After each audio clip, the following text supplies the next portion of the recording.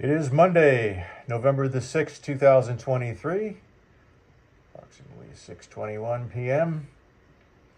The Purpose of this video is to document severe radio frequency interference from uh, OUC facilities coming from the north of my home.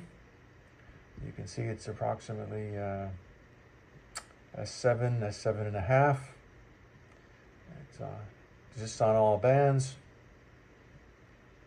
Uh, let's hope they uh, get motivated to fix it sometime soon.